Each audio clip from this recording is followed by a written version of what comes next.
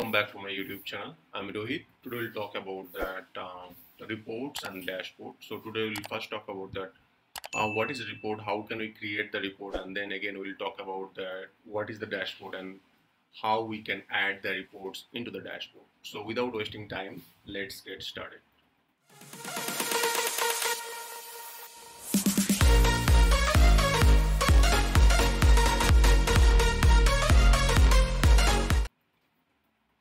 So if you see here, this is one of the dashboard called Project Summary Waterfall. So which have multiple, a combination of multiple reports.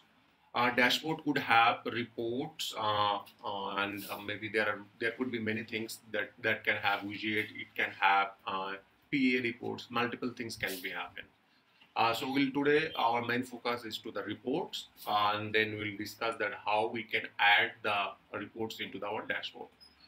So to get the reports, very first thing you have to type the report uh, in the left navigations. And then uh, if you see here you have a options called uh, view and run report uh, view and run and then there is a create new options okay?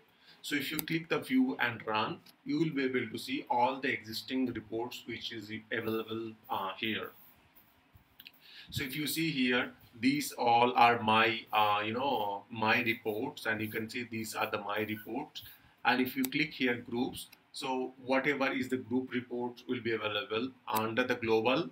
It will show all the available global uh, you know um, uh, reports will be available. And then finally if you click all it will contain all the reports. So basically report uh, can give you the uh, you know uh, diagrammic way that uh, you know how the data is right now in the real time in the system okay? So first we'll create one report and I'll show you that uh, more feature on that. So very first thing I'll click the create a report. So once you click the create a report it will show the uh, you know um, a screen where you can create your first report. So if you see here in the first time uh, it is showing the report name in the left side resource type source type and the data source. We'll discuss one by one here by default the NLU is activated. That's why you can ask the uh, you know you can ask any question. So let's take example of that uh, you know I want to check the active uh, incident. So we'll say that report name is all active incident.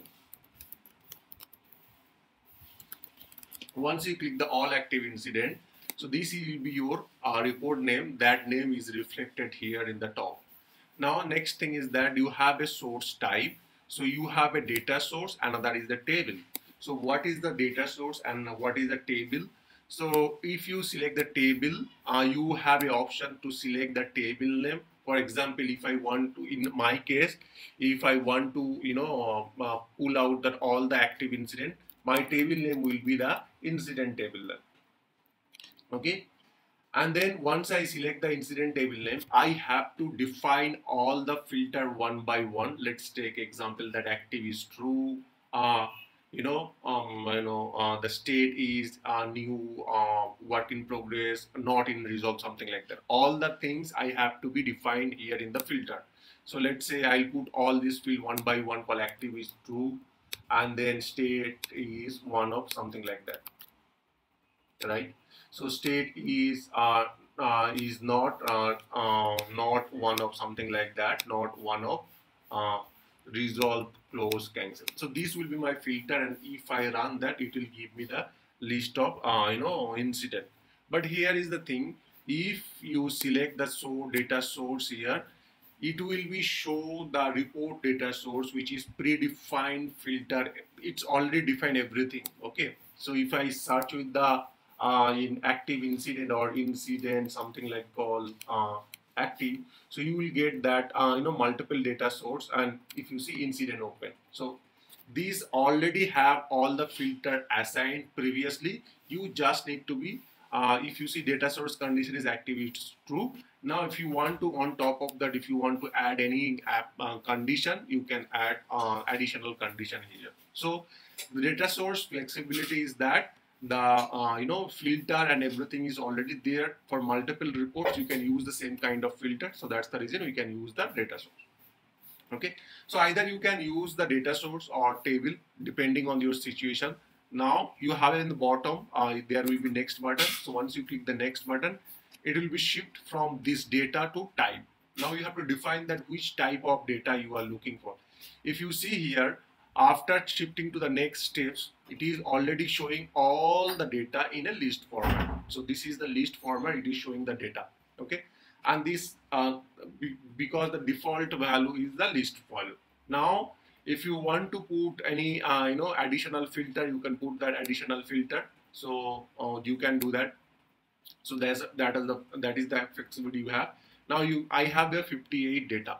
Now in this 58 data you you will see the real-time data. In the 58 data how you want to represent your data that completely depends on you okay so you want to show the single score you want to show the bar you want to do uh, different type of things we can show. I'll show you in a uh, one by one. So let's say you want to show the single score. So you can just select the single score and then click next.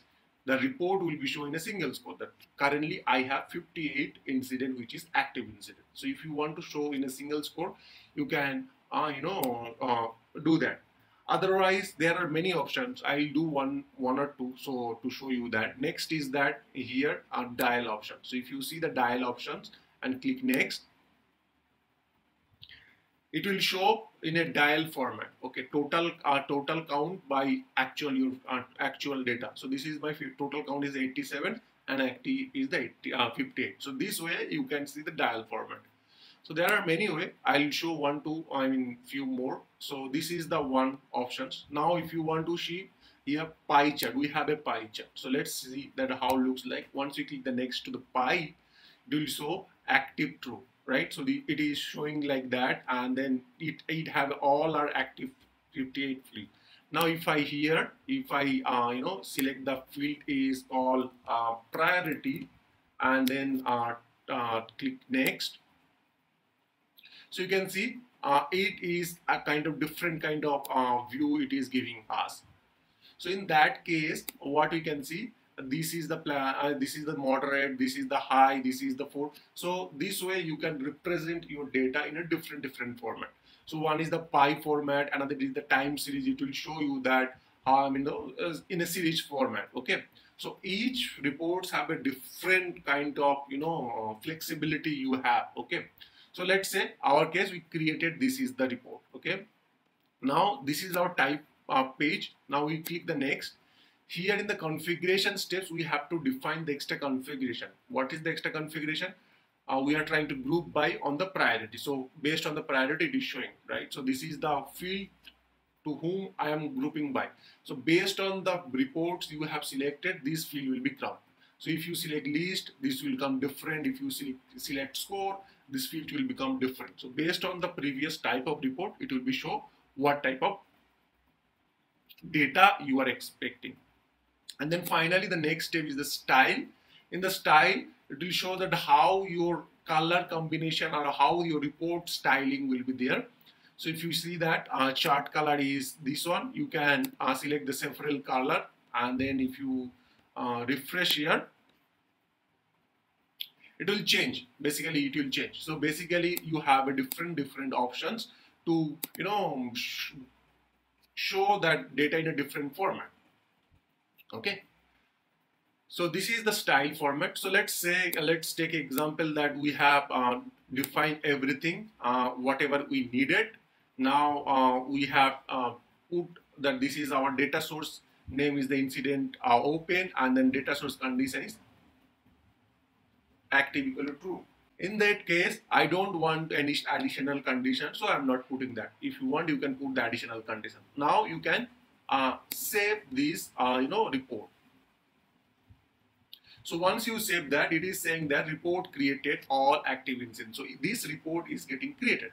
Now you have a option you can see. This is the here arrow options where you can see you can uh, save as a data source. This report can be saved as the next future data source or you can insert and stay, you can update. So these options are available to you. Now here you have a sharing options by that, you can share this report to particular user, like everyone who have a specific role, uh, the groups, or maybe the user to whom you want to share depending on your situation. Now you can schedule the report. So might be by every week or every day, it will send the particular user uh, that with this exactly the report, it can be sent that uh, it, you have to define the time, but with that which time every day, day, day or uh, every month or daily or weekly, it will send this report data to particular user. Now another option is that add to dashboard. You can add this report to any existing dashboard. So that way you can click the add to dashboard and then you can you know select the dashboard and then you can add to the particular dashboard okay? And then finally you can export this report as a pdf format. If you want you can export this report. So these are the options available. So uh, one more thing that report is the real-time data. So now you can see total i have 58 now if i if it is create one data one incident it will automatically uh, immediately show that the whatever it have changes. Okay? So now our report is created. We can save that. Also if you see if you want to do some drill down options add you can do the drill down option. So suppose let's after clicking on that if you want to show the list of incident like that you can also uh, set up the drill down options here. So these functionality also available so in that case our report is created. Everything is set it down. Uh, so all active incident. Now we'll we can create a dashboard and then attach this uh, report to our dashboard.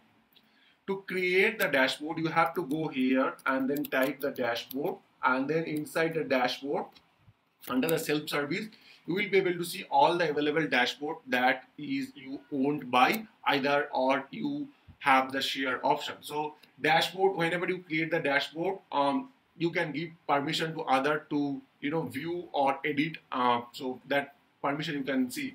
So these are the dashboard is owned by me. Now we'll create a dashboard here and then once you click the uh, create dashboard you can define the to whom this dashboard will be owning by which user can uh, restrict role so edit user role so who will be able to edit. So let's uh, say that incident uh, demo. So this will be our dashboard name. We can define the groups to whom which groups or which uh, you know uh, group will be available. So this dashboard is added and added the SNC internal. So who have the SNC internal they can uh, you know see that. Now if you click here view dashboard, the dashboard will be view. So if you see here, this is our dashboard and in this dashboard doesn't have any data or any uh, widget. We can add the, uh, you know, um, uh, dashboard, um, we can add the widgets or report. So for adding, you have to click the add and once you click add, you have a multiple types of things that you can add to your dashboard you can add reports you can add performance analytics you can add the interactive filter container gadgets. These are many things you can add to your dashboard. So our demo case will select the reports and once you click that report you will be able to see the all the reports you can you can search here. So we have created this all active incident report. We'll just uh, click there and then add that option. Once we add that that our report that we have created will be available here. So you can see these reports is right now added. Now in this uh, configure options, you can see you can define the layout of your uh, you know dashboard that in dashboard it will be 2 by 2 column or 3 by 2 column. You can define that. We can let's say it will be 2 by 2 column. Then each uh, row have a two uh, two kind of two widgets or two uh, data. So that way you can define or you can define that how your dashboard will be looks like. Okay. Now um, you can share this dashboard to particular uh, person that to whom this dashboard will be shared all the user or groups or role you can you know click here and you can uh, you know uh, add to that user to whom I want to share this dashboard so once it will be shared you can see this dashboard is shared to one particular user. Now that user will be here in under his dashboard options, you will be able to see this dashboard. Also, if you click here, you will be able to see all the dashboard that uh, you know uh, is owned by you or all the dashboard is shared with me. I just shared this dashboard to that Abel Tuter, right? So he will be see that uh, my dashboard, whatever I have created under share with me. Okay, so let's open uh, our, uh, uh you know, this dashboard. So once you add, uh, if you see here, here also you have a multiple options call, you know, you can create a new tab, you can, you know, uh, um, you can change the copy this dashboard URL. You can many things. You can export that. Everything you can do here because you have the dashboard. You have admin access, and you are the owner of this dashboard. So you have a many options to you know do that. Also, one more things that uh, if you see here, if I go back to that uh, you know our dashboard overview, and then whatever is owned by me, let's say let's open one of these dashboard So let's say admin console is the another dashboard that have that uh, capacity to, you know, uh, many things it's already added here, right? So what we can do, I want to know that from which widget or which dashboard or which report it is coming. For that, simply you have to click here and then once you click here, you will be able to see many options. Uh, you know, increase height, you can refresh, you can do the settings, you can do the edit. Once you click the edit options, it will land to that particular widget or particular dashboard from where this is coming. So this is coming from one of the reports. So it will be directly land to that report only. So that way you can even debug the reports or you can debug your dashboard. So that's it for today. Thank you very much. Have a great day.